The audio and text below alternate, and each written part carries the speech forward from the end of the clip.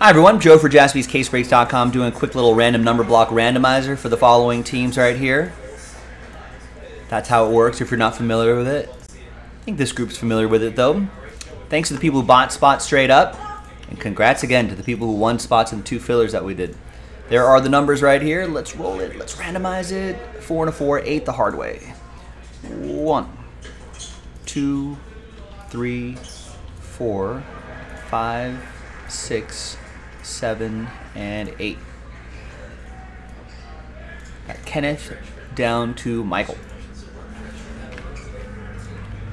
Four and a four, eight times for the numbers. One, two, three, four, five, six, seven, and good luck. Eighth and final time. After eight, we got five down to two. Remember, zero gets you any and all redemptions, including one of one redemptions. One still gets live one of ones. It's all in the description. Kenneth with five, eight, and six. Travis with seven. Nestor with the redemptions for that group of teams right there.